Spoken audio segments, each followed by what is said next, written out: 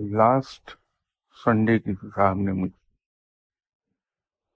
माह रजब के रोजों के बारे में पूछा था।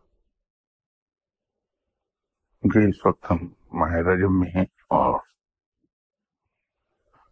हम में से हर आदमी की ख्वाहिश होगी कि वो माह रजब की बरकत से फ़ायदा उठा ले। तो इस बारे में कुछ गुफ्तगू करना शायद बेमहल नहीं होगा। अल्लाह ताला इरशाद फरमाया कि जब से मैंने ज़मीन व आसमान तख्लीक किए हैं। बारह महीने महफूज कर दिए मुकर्र कर दिए, जो भी आप जिन अल्फाज में कहें। रोज अजल ही से, इस कायनात की तख्लीक के रोज अजल से, वक्त को बारह महीनों पर रब ने तकसीम किया है। यही वजह है कि दुनिया के जितने मशहूर कैलेंडर्स हैं, उनको अगर हम देखें तो उससे एक चीज़ वाजी होती है। सभी मशहूर कैलेंडर्स में, जो बैन अवी सतह पर तस्लीम किए गए हैं, मशहूर हुए हैं और उन सब में महीने बारह ही हैं, चाहे उनको किसी नाम से पुकारा है। अल्लाह ताला ने इन बारह महीनों में, चार महीनों को हुरमत वाला करार दिया। और वो चार महीने रजब जिकात जिलहज और मुहर्रम है। तीन महीने तो एक तसलसल में आते हैं जीकात जिलहज और मुहर्रम। लेकिन रजब इन सबसे अलहदा है, इसके दरमियान वक्फा है एक महीने का। रजब लफ्ज दरअसल तरजीबो से निकला है। तरजीबो अरबी में ताजीम करने को कहते हैं।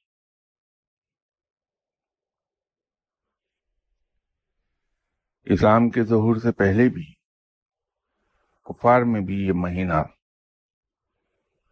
ताजीम वाला कहलाता था। इस महीने को बहुत से मुख्तलिफ़ नामों से भी पुकारा गया है। शाहर सबक के नाम से पुकारा गया इसे। शाहर असद के नाम से पुकारा गया। शाहर असम के नाम से पुकारा गया।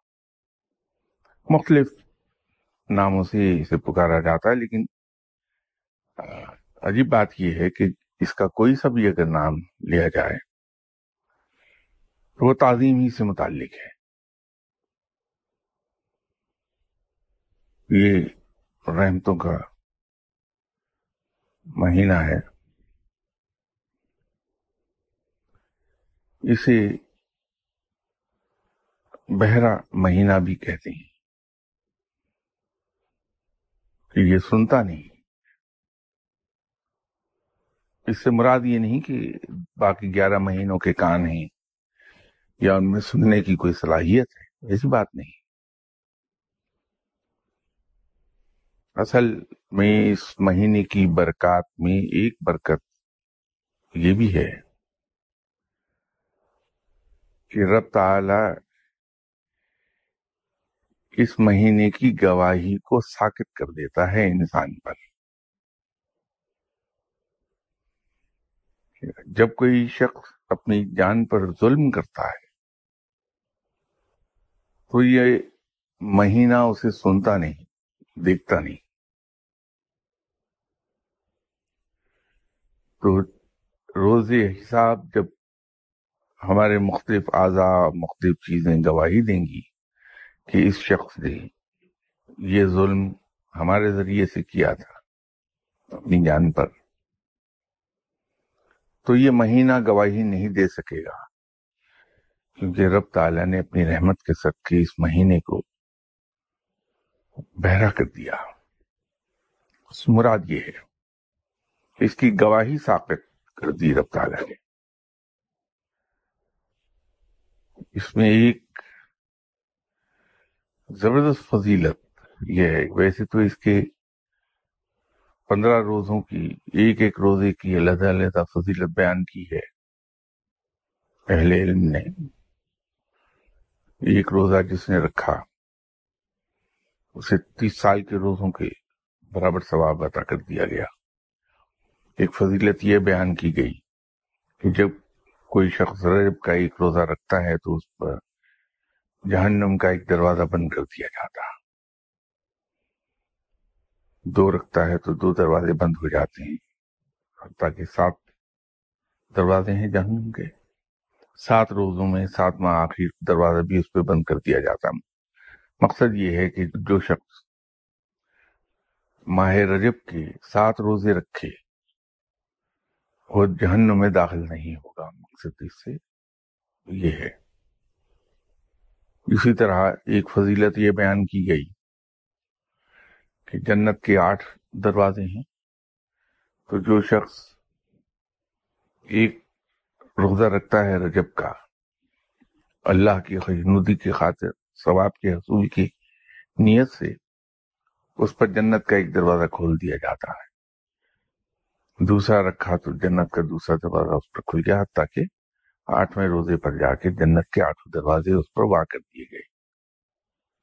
मुराद ये है कि जिस शख्स ने रजब के आठ रोज़े रखे, वो जन्नत में जाएगा। लेकिन मैं जिस फजीलत का ज़िक्र कर रहा हूँ, मुझे नहीं मालूम कि वह आपके लिए क्या अहमियत रखेगी या किसी और के लिए कोई क्या अहमियत रखेगी वो बात। लेकिन वो फजीलत मुझे बहुत भाई पहले रोज़े की अजर है, दूसरे रोज़े का एक अजर है। तीसरे रोज़े का अजर यह है कि जिस शख्स ने रजब का तीसरा रोजा भी रखा, उसे अल्लाह की दोस्ती और उसका कुर्ब हासिल हो गया। तो ये मेरे नज़दीक की फजीलत मेरे दिल को बहुत पसंद है।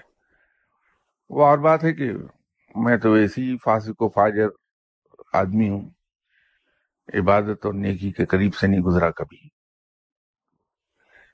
तीसरा रोजा रखना रजब की बड़ी बात है, मैं तो एक भी रोजा नहीं रख सकता। बस देख के खुश हो जाता हूँ कि तीसरे रोज़े का अजर ये है कि इंसान को अल्लाह की दोस्ती और उसका कुर्ब हासिल हो जाता।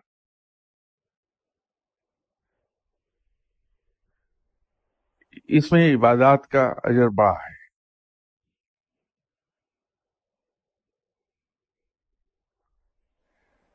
अगर हम उस अजर पर ना भी नज़र रखें, मिलना तो बाहर है, क्योंकि रब तो किसी की नेकी, किसी की मेहनत और कर्ज अपने जिम्मे नहीं रखता, उसका अजर अता फरमा देता है।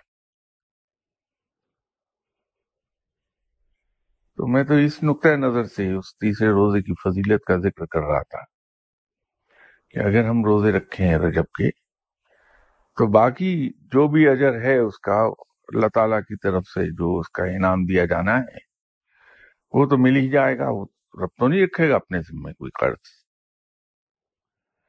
लेकिन अगर रब की दोस्ती और उसका कुर्ब हासिल हो गया तो मेरे ख्याल में ये सब सवाब और सब अजर पीछे रह जाते हैं। यही एक इनाम कि रब की दोस्ती और उसका कुर्ब हासिल हो जाए, वो सब पर सब पर ले जाता ये मेरा जाती ख्याल है उसमें। क्योंकि अगर रब ताला की दोस्ती और उसका कुर्ब हासिल हो गया हमें तो फिर बाकी कुछ पीछे रहता नहीं सभी कुछ हासिल हो जाता। मैंने पहले भी कई मौकों पर अर्ज़ किया। अब भी एक बार फिर अर्ज़ कर देता हूँ कि रब ताला बहुत हया वाला है। बहुत वजादार है। बेपना वजादारी रब में। वो तो लोगों को अपनी रहमत के सदके सिर्फ़ इसलिए माफ़ कर देता है कि वो उसके दोस्त के दोस्त हैं। तो वो अपने दोस्त के साथ क्या सलूक करेगा, इससे अंदाज़ा कर लीजिए कि सिर्फ़ दोस्त का रेफरेंस अगर हो तो वो उसकी वजादारी और उसकी हया ऐसी है कि उस शख्स को ही माफ़ कर देता, उस पर ही रहमते नाजिल कर देता।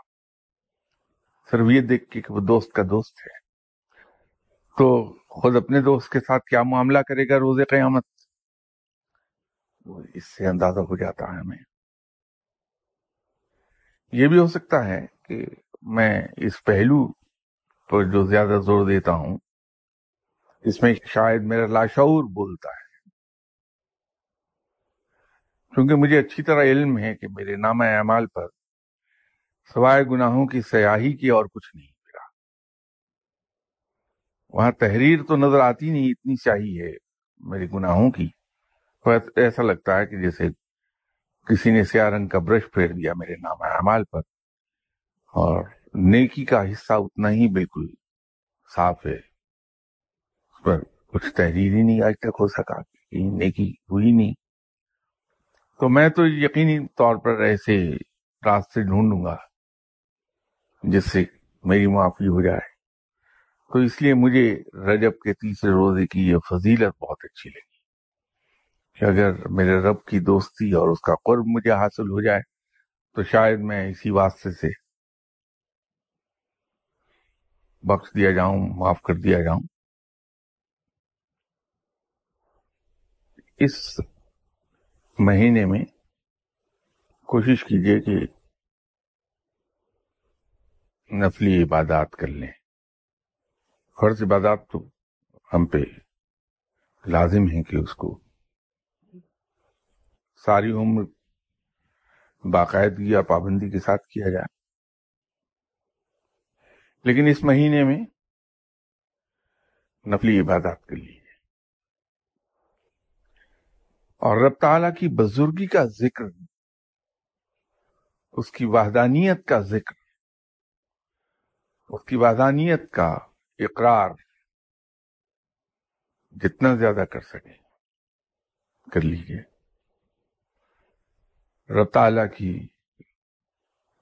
रहीम करीम होने की सिर्फ़ से उसकी रहमत से पूरी उम्मीद और तो है कि रब उस ज़िक्र के सदक़े आप पर अपनी रहमत नादिल फरमाएगा। आप पे अपना कर्म कर देगा, पे अपना फजल कर देगा। और जिस शख्स पे रब ताला का कर्म हो गया, उसका फजल हो गया, फिर उसे किसी चीज़ की हाजत रहती नहीं। कि रब उस पर इतना मेहरबान हो जाता है कि वो उस मकाम पर ले जाता है अपने बंदे को जहाँ वो कहता है कि मेरे लिए मेरा रब ही काफ़ी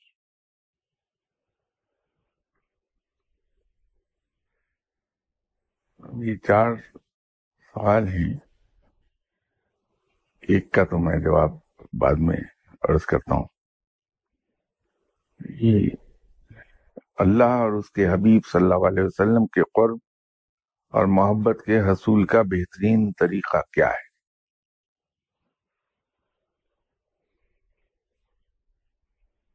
आपका आपके घर में दो मुलाजिम हैं एक मुलाजिम काम अच्छा करता जॉब शुरू करने से पहले वो आप, आपके साथ अपनी तनख्वाह और अपनी नौकरी की टर्म्स एंड कंडीशंस बहुत वाजे तरीके से आपसे सेटल करता है और पूरा महीना मेहनत के साथ काम करता है। आपको उसके काम पे शिकायत नहीं कोई। खुश हैं आप उसकी परफॉर्मेंस से। उधर अगले महीने की यह कमाई और सुबह उसने नौ बजे आके आपको सलाम किया कि साहब, मेरी तनख्वाह महीना पूरा हो गया। जो ही उसकी छुट्टियाँ ड्यू हुई कि साहब, आज मेरी छुट्टियाँ ड्यू हैं, सुबह से मैं चला जाऊँगा और फिर इतने रोज के बाद वापस आऊँगा। जो ही उसके लिबास को देने का टाइम आया, वो खड़ा हो गया कि साहब, आज आपने मुझे दो यूनिफॉर्म्स प्रोवाइड करनी है, नहीं, क्योंकि as per terms of the contract आज आपको लिबास ये देना। आपसे वो कुछ ज़्यादा नहीं मांग रहा। वही कुछ मांग रहा है जो आपका और उसका तयशुदा है। एक और मुलाजिम है, जो काम अपनी मर्ज़ी से करता है। ने तीन आवाज़ें दी तो आ गया और आके जी, पानी पिलाओ के सब, मैं अभी ये काम खत्म कर लूँ पानी पिलाता हूँ जो काम बोला कि जी, मैं ये कर लूँ तो मैं आपका काम करता हूँ। हर दूसरे दिन डिमांड के साथ खड़ा है कि साहब, ये दे दीजिए, वो दे दीजिए। और एक और मुलाजिम है, बिल्कुल, मुख्तलिफ़।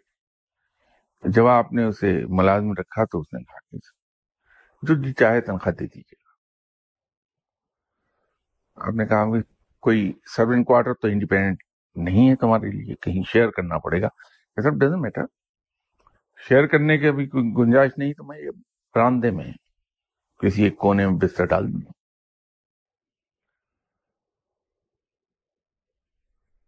आपने खाना दे दिया उसने खा लिया आपने नहीं दिया तो, तो भी खुश फिर रहा। है आप पर ज़ाहिर ही नहीं होने देता कि आप भूल गए उसको खाना देना। कपड़े हैं धो के साफ़ सुथरे रोज़ाना पहनता है।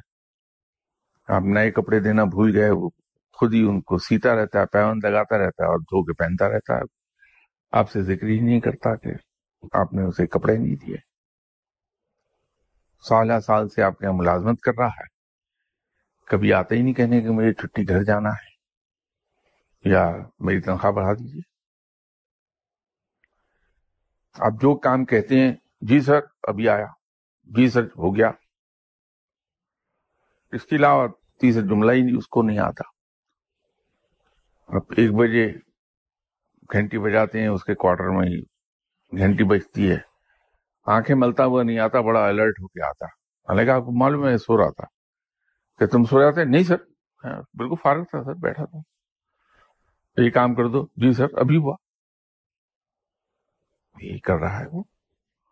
अब आप मुझे बताइए कि इन तीनों मुलाजमीन में से कौन सा मुलाजिम आपके दिल के करीब होगा? तो अगर कोई शख्स इस तीसरे मुलाजिम की तरह अल्लाह की बंदगी कर रहा है, ज़ुबान पर कोई गिला शिकवा ही नहीं। जो मिल गया उसी पे अल्लाह का शुक्र अदा किया। जो नहीं मिला उसका तस्करा ही कहीं नहीं। अल्लाह से किसी दुनियावी चीज़ का तकाजा ही नहीं करता, कोई दुआ ही नहीं उससे करता दुनियावी चीज़ों की। कहता है तो सिर्फ़ ये कहता है कि या अल्लाह तो मुझे अपने मोहब्बत करने वालों में शामिल कर ले। या अल्लाह मुझे क़यामत के रोज उन लोगों में से उठा जो तुझसे मोहब्बत करते हैं। यही कहता है अल्लाह से। यही माँगता कि या अल्लाह तू मुझे अपने मोहब्बत करने वालों में शामिल कर ले। तो क्या ये शख्स अल्लाह के करीब नहीं होगा। और यही रवैया उसका आप सल्लल्लाहु अलैहि वसल्लम की जात मुबारक से तो क्या आप सल्लल्लाहु अलैहि वसल्लम की रहमतें इस पर नाजिल नहीं होती होंगी? तो यही कुर्ब हासिल करने का तरीका है। गिले शिकवों से ज़ुबान बंद कर लीजिए अब वो और बात है कि मैं तो यही करता हूँ कि एक आसान तरीका ढूंढा है मैं। अपने तमाम इल्ज़ाम शैतान के जिम्मे दे देता हूँ। तो अब भी शैतानी को मैं इल्ज़ाम दे दूँगा, मैं तो अपने जिम्मे नहीं लेता कोई कसूर। सब शैतान का कसूर है। कि शैतान मुझे बहका देता है। गर्मी है, धूप में खड़ा हो कि अगर कभी मुझे अपने दफ्तरी मामला को देखना पड़ जाए, कुछ बस का हो जाता है कि कहीं विज़िट पर आदमी गया तो गर्मी में, धूप में खड़ा है। तो मैं सर से अपना फेल्ट हेड उतार के तो उसी को पंखा बना लूँगा। आज गर्मी बहुत है। ये जब मैंने कहा गर्मी बहुत है तो मेरे नज़दीक तो मैंने एक सरसरी सी बात की है, मौसम का ज़िक्र किया है। लेकिन अहले इल्म के नज़दीक ये रब का शिकवा है। मैं अपने मुर्शिद साहब से जूते खा चुका हुआ हूँ इस जुमले पर। ऑफ़िस से मैं आया था तो बड़े शाह साहब के कमरे में हुजरे में, गर्मी बहुत थी हबस था। तो मेरी ज़ुबान से ये जुमला निकल गया कि, हजूर, आज गर्मी बहुत है। बेपनाह किस्म की डांट पड़ गई, बड़ी शदीद। तुमको यह हक किसने दिया कि तुम अपने आका पर उंगली उठाओ? अपने मालिक पर उंगली उठा सको? ये रब का काम है, उसकी मर्ज़ी है। गर्मी बढ़ा दे या घटा दे गर्मी कब शुरू करता है, ये उसकी मर्ज़ी है, उसका मजाज है, जब चाहे वो गर्मी बढ़ा दे दुनिया में, और जब चाहे सर्दी बढ़ा दे। जब चाहे गर्मी का मौसम शुरू करे, सर्दी का मौसम शुरू करे।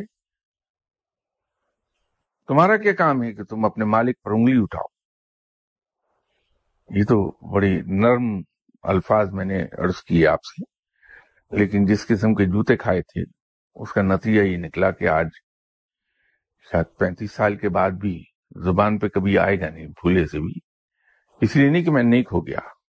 ऐसी गलती अभी तक नहीं हुई। नेकी के करीब नहीं जाता। उस डांट का डर और खौफ आज तक दिल पर है कि कहीं फिर डांट ना पड़ जाए। तो ये गिला है, ये शिकवा है, ये कहना कि आज गर्मी बहुत है। अहले इल्म तो इस बारीकी को जाते हैं। हम फिक्रमंद रहते हैं मामूली मामूली बातों से।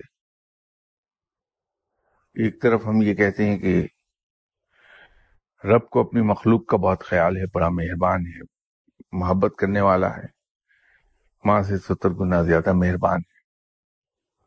लेकिन परेशान रहते हैं हम कि ये काम और वो काम। क्या रब को अपनी मखलूक का ख्याल नहीं? हम जो बोलाए बोलाए फिरते हैं और जहाँ पता चलता है कि ये साहब दुआ करते हैं, इनकी दुआ कबूल होती है, वहाँ अपने दुनियावी मसाइल लेके पहुँचते हैं। आप किसी ऐसी जगह बैठ जाए जहाँ दुआ होती है तो वहाँ हम सभी और शायद मैं सब में पेश पेश हूँगा जाने वालों में। अपने दुनियावी मसाइल लेके गया हूँ। और मज़ा ये है कि जब हम जॉब करते हैं खा वो पब्लिक सेक्टर जॉब हो या प्राइवेट सेक्टर तो एक हमारा कॉन्ट्रैक्ट साइन होता है जिसे हम साइन करके देते हैं। और हम उसे बकामी होश हवा साइन करते हैं। और बखुशी साइन करते हैं। एट आर फ्री विल उसमें क्लियरली लिखा होता है।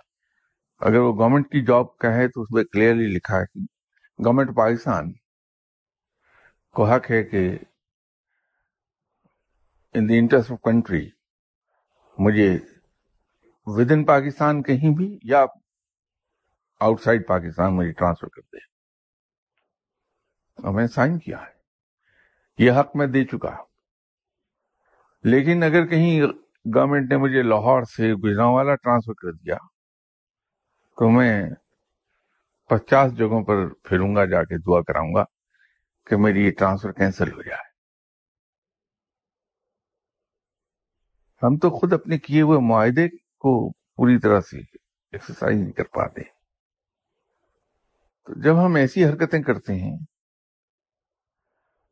तो वो इनडायरेक्टली हम रब ताला की न शुक्रगुजारी कर रहे होते हैं। उसकी तरफ़ से मिलने वाली हर चीज़ को बड़ी खुशी से और शुक्रगुजारी के साथ एक्सेप्ट करना चाहिए। कुर्ब इलाही के लिए हमें उस तीसरी किस्म के मुलाजिम का रवैया रखना होगा। और उसकी दोस्ती और कुर्ब खुद ब खुद हासिल हो जाएगा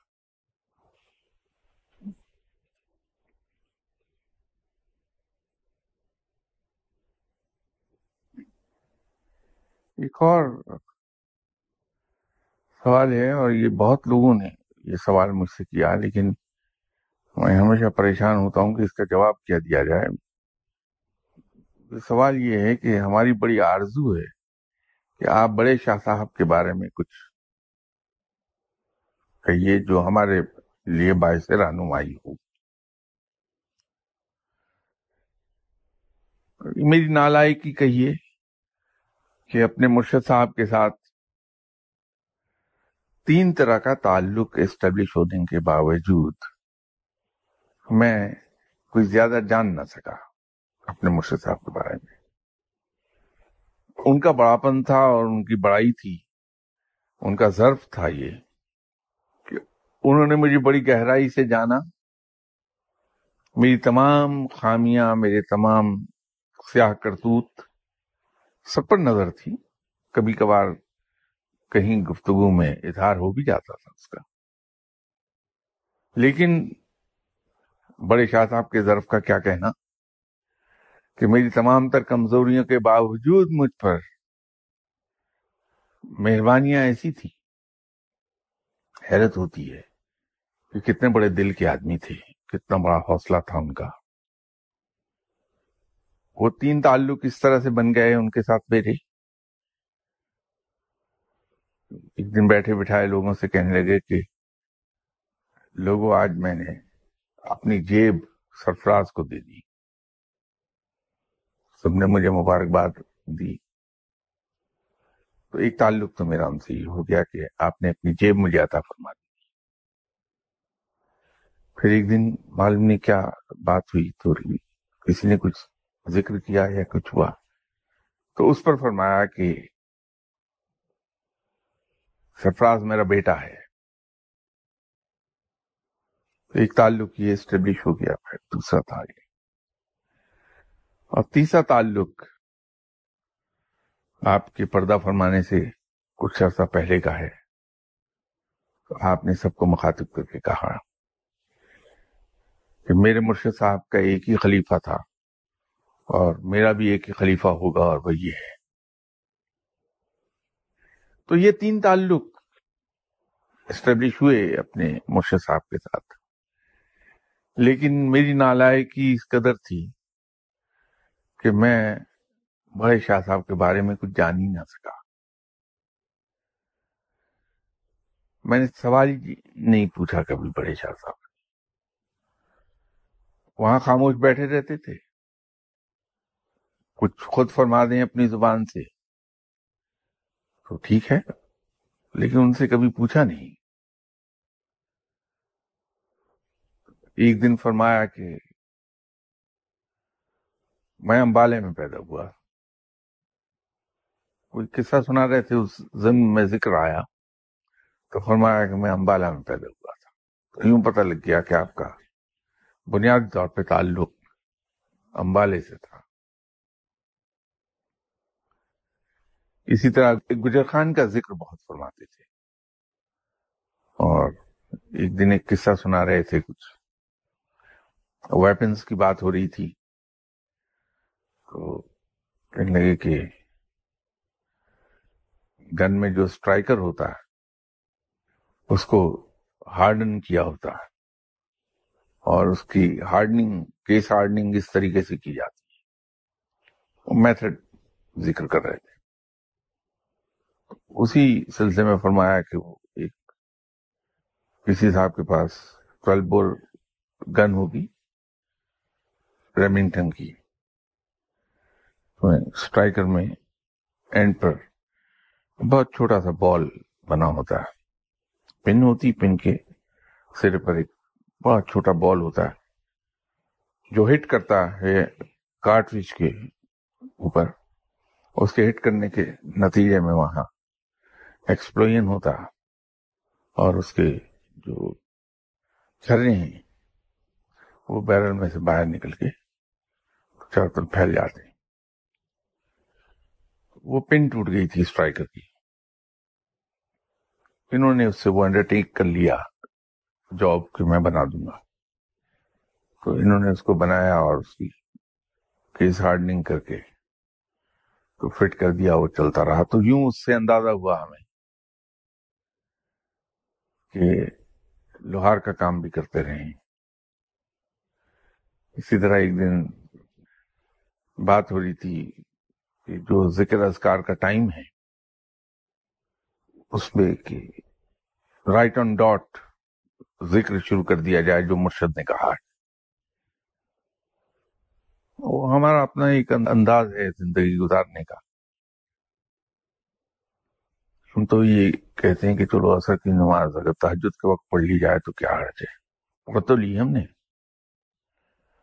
तो अगर कोई हमें कह भी दे गलती से तो भाई असर की नमाज़ असर के वक्त पर पढ़ा करो। तो अगले दिन मैं फिर वहाँ पहुँच जाया करता हूँ, क्योंकि हजूर कल आपने फरमाया था कि मैं असर की नमाज़ असर के वक्त पढ़ लिया करूँ। असल में मसला ये होता है, वो टाइम होता है मेरे सोने का। तो उसमें बड़ा हर्ज होता है तो ऐसा नहीं हो सकता कि मैं फजर की नमाज़ ईशा के टाइम पे पढ़ लूँ और ईशा की नमाज़ में ज़ोर के टाइम पे अदा कर लूँ। तो मैं वहाँ चेंज करवाने पहुँच जाऊँगा। फरमाने लगे कि मुर्शद साहब ने मुझे हुक्म दिया था कि रात 11 बजे ये ज़िक्र तुमने शुरू करना है। तो कहने लगे कि अब वो लोग आ जाते थे मिलने, में तंग होता था, ग्यारह बजे मैं ज़िक्र नहीं कर पाता था। तो मैंने उसका एक हल ढूंढा कि गुजर खान में उन दिनों एक ही सिनेमा होता था और वहाँ वो कोई फ़िल्म का नाम लिया जो मेरे जहन से उतर गया है। फला फ़िल्म चल रही थी वहाँ पे। तो मैंने देख लिया कि इसका ये सीन जो है, वो पौने ग्यारह बजे दिखाते हैं वहाँ। तो मैं रोज़ाना शाम को लोगों से बचने के लिए फ़िल्म का टिकट खरीदता था और सिनेमा में जा बैठता था। वो सीन जब आता था तो मुझे पता चल जाता था कि पौने ग्यारह हो गए। तो मैं वहाँ से उठता था। घर आ जाता था, दस मिनट का मेरा वॉक थी घर तक की। अगले पाँच मिनट में वज़ू ताज़ा करता था मैं। और ठीक ग्यारह बजे मैं खड़ा हो जाता था जानवास में। तो यूँ मैं लोगों से भी बचा रहा और वक्त की पाबंदी भी हो गई। तो इस तरह की बातों से उनके बारे में जो कुछ मुझे पता चल सका, वो जिस दिन बहुत बीमार हुए रात को और तबीयत खराब थी। फरमाया कि मेरा आखिरी वक्त आ गया, मैं जा रहा हूँ। तबीयत बहुत खराब थी। उस हालत में पहली बार उन्होंने डिस्क्लोज किया कि मैंने शादी की थी मैंने। और मेरा एक बेटा पैदा हुआ था जिसके पैदाइश के कुछ दिनों के बाद ही उसकी डेथ हो गई थी, उस बच्चे की। तो फरमाने लगे अच्छा हुआ, मर गया। वरना बड़ा होके उन्होंने तो अजीब सा लफ्ज इस्तेमाल किया जो मैं नहीं इस्तेमाल कर सकता। बहरहाल मेरे मुर्शद के बेटे थे वो, कि वो वो निकलता। तो उसके कुछ अरसे के बाद मेरी अहलिया का भी इंतकाल हो गया। तो अल्लाह के हर काम में मसलियत है। अगर वो ज़िंदा रहती तो शायद मैं इस मकाम को ना पहुँच सकता। तो यूँ पता चला कि आपकी शादी हुई थी। इस तरह से मुख्तलिफ़ ज़िक्र करते रहे बड़े शाह साहब। तो वही इंफॉर्मेशन मुझ तक आई। लेकिन मैं आज खुद उनसे कोई सवाल नहीं कर सका। उम्र का अंदाज़ा मुझे यूँ हो गया कि आखिरी दिन थे शाह साहब की ज़िंदगी के। तो इरादा ये हुआ कि उम्रे पर चला जाया जाए तो मैंने कहा कि हजूर, उम्रे पे चलेंगे? चलते हैं, इकट्ठे दोनों उम्र करते हैं। चलेंगे हाँ चलो। तो मैं फॉर्म ले आया, उनके पासपोर्ट के लिए, तस्वीरें वगैरह खिंचवाई। तो फॉर्म को मैंने भरा। अब वो उम्र का मसला था। अब अपने मुर्शद से सवाल कैसे किया जाए? बाकी तो जितने दर्जात थे, वो कोई मसला नहीं था मेरे लिए। वो मैंने खुद ही कर लिया उसमें सब दो जगहों पे जाके मैं फंस गया। वल्दियत और उम्र। अब वल्दियत की हद तक तो सवाल किया जा सकता है तो मैंने कहा कि, हजूर, ये मैं सवाल इसलिए आपकी खिदमत में अर्ज़ कर रहा हूँ कि मुझे फॉर्म में लिखना है। तो अगर आप मुनासिब समझे तो फरमा दिए वाली साहब का नाम। बता दिया उन्होंने। अब उम्र के लिए गुस्ताखी थी, मैं क्या करता? अपने मुर्शद से मैं उम्र कैसे पूछू? तो मेरा ख्याल है खुद ही भाप गए कि मैं किस मुश्किल में हूँ इस वक्त। कहने लगे तारीख पैदाइश पूछना चाह रहे हो जनाब, वो तो याद नहीं है, लेकिन उम्र मुझे याद है, तुम बासठ साल लिख दो। उसके चंद दिन के बाद डेथ हो गई तो यूँ उम्र का अंदाज़ा हो गया था। लेकिन सवाल नहीं किया जा सका कुछ अपने मुर्शद साहब से। इल्म से भी मैं यूँ ही बेबहरा रह गया कि कभी सवाल पूछ नहीं सका मैं मुर्शद साहब से। हिम्मत ही नहीं हुई कभी कि अपने मुर्शद साहब से सवाल पूछा जाए। तो वो आज खुद फरमा देते थे। जो खुद फरमाया वो एक दिन गया मैं सुबह ऑफ़िस जाने से पहले खा पाँच मिनट के लिए जाऊँ, लेकिन मैं अपने मुर्शद साहब के पास जाता ज़रूर था। उनके हुजरे में बैठ के एक कप चाय पी के तो फिर ऑफ़िस के लिए निकलता था तो उस दिन देखा तो तबीयत खराब थी और मैं फ़ौरन खटका। कि रात मुझसे कोई कोताही हुई है। ये जो इतना मूड खराब है, एक ही वजह से हो सकेगा कि रात मैंने यहाँ से जाने के बाद घर पर बैठी हुई कुछ हरकत की, गलती हुई, कोताही हुई है और वो बिगड़े हुए हैं। बिगड़ते ही थे फिर। और मैं चाहता था कि किसी तरह गरज बरस लें और इनका कुबार निकले। और मुझे भी पता लग जाए कोताही क्या हुई मुझसे, ताकि आइंदा के लिए मोहतात हो जाऊँ। मैंने बड़े तरीके से उन्हें छेड़ा। तो मैंने कहा, हजूर, क्या तबीयत आपकी नासाज लगती खैरियत है, क्या हुआ? मेरा ख्याल था कि जवाब में बहुत शदीद किस्म की डांट आएगी। तो खिलाफ तो बात धीमे लहजे में कहने लगे कि हाँ रात मेरी ड्यूटी तुर्की के करीब समुंदर की तह में थी। और समुद्र की तह से जलजला बरामद होना था। तो मैं वहाँ समुद्र की तह में ड्यूटी पे था। तमाम जलजला मेरी आँखों के सामने बरामद हुआ ज़मीन से।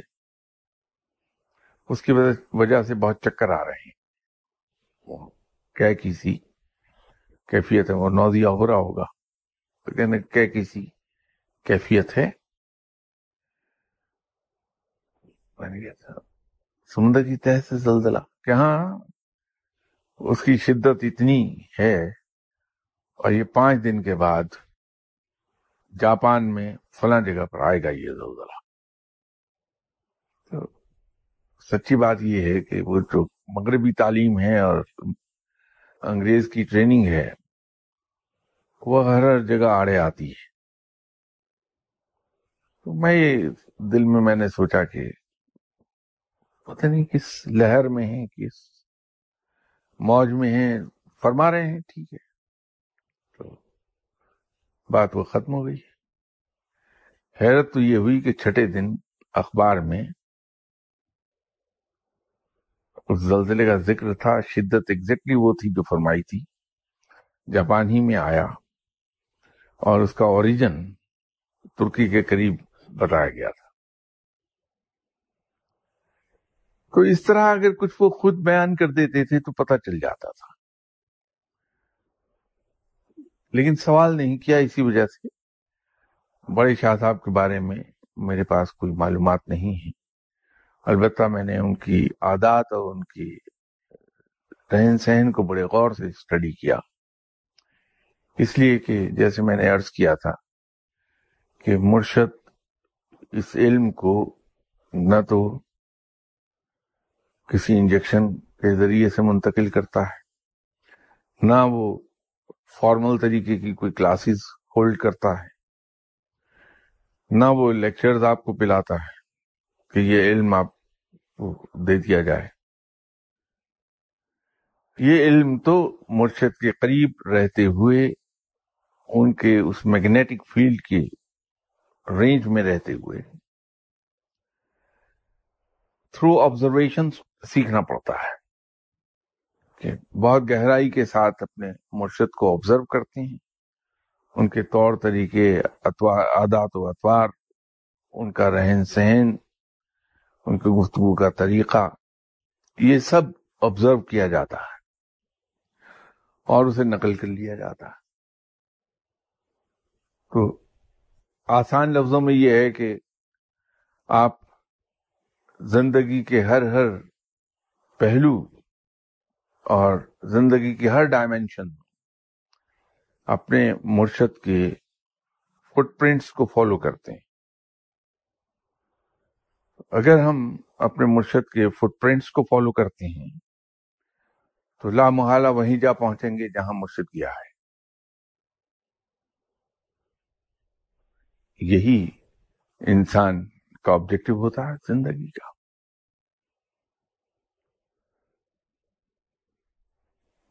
तो जब आप उन्हीं राहों से गुजरेंगे और उसी जगह को पहुँचेंगे जहाँ मुर्शद गया है तो इल्म भी वही होगा आपके पास। तो यूँ इल्म का हसूल हो जाता है। मेरे पास बड़े शाह साहब के बारे में कुछ ज़्यादा मालूम नहीं है। जब से मैं उनके पास जाना शुरू हुआ था, मैंने उन्हें लाहौर संत नगर की गलियों में से एक गली में एक मकान के तकरीबन साढ़े तीन फुट बाई पाँच फुट के कमरे में रहते देखा। और दर हकीकत उस मकान का कहीं बाथरूम होता होगा जिसे मालिक मकान ने पैसों की लालच में कन्वर्ट कर दिया था हुजरे में। बीस रुपए महीना उसका किराया ले, लेता था मालिक मकान उनसे वही साढ़े तीन फुट बाई फाइव फीट की जगह जो थी, वही मुर्शद साहब का ड्राइंग रूम था, वही टीवी लाउंज था, वही बेडरूम था, वही किचन था। वहीं पे हम बैठते थे। तो होता ये था कि इस लंबाई की जो पाँच फुट थी तो उसके एक कोने में, उस साइड पर, जिस साइड पर मुर्शद साहब बैठते चौड़ाई की जगह पे, वो कोना मेरे लिए मखसूस था। मेरे बराबर दो साहिबान और बैठते थे तो कमरा भर जाता था। तो जो उसकी डेप्थ थी, उसकी डेप्थ वाली साइड जो थी, जो साढ़े तीन फुट की थी, वहाँ बड़े शाह साहब तशीफ रखते थे। और उनके बराबर एक गोल हीटर इलेक्ट्रिक का पड़ा रहता था। जिस पे खाना पकता था और चाय पकती थी।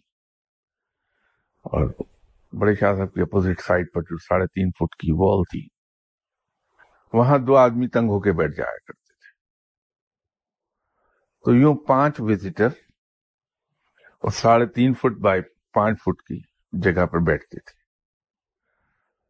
तो वहीं पे सबके लिए चाय बनती थी, वहीं सर्व हो जाती थी।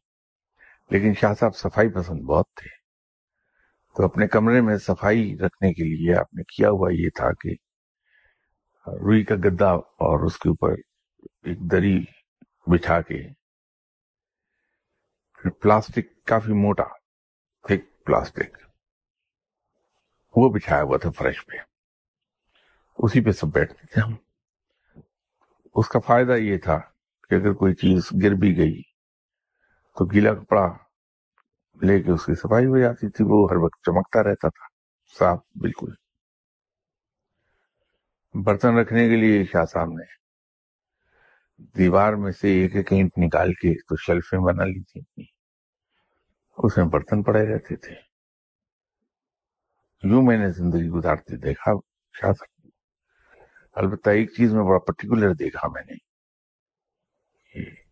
हर यकम को विदाउट फेल किराया आधा हो जाएगा। बिजली का बिल बड़ा रिलीजियसली ड्यू डेट से पहले पे करेंगे। ये उनको मैंने बड़ा मोहतात देखा इस काम में, कि किसी का बिल ड्यू न रह जाए। पहनावे में मैंने उन्हें, उसकी वजह आज मुझे समझ आती है कि वो एक हल्का सा उसको बहुत ही यूँ समझ लीजिए, एक हल्की सी टेंज मस्टर्ड कलर की अगर व्हाइट कपड़े में शामिल कर दी जाए, क्रीम का जो लाइटेस्ट शेड हो सकता है, उस रंग का शलवार कमीज और कंधे पे सिलसाए वारसिया का जो रुमाल है बड़ा, वो पड़ा रहता था। और पाँव में प्लास्टिक की चप्पल, ये पहना हुआ था। इससे ज़्यादा मैं शायद कोई अर्ज़ नहीं कर सकूँ।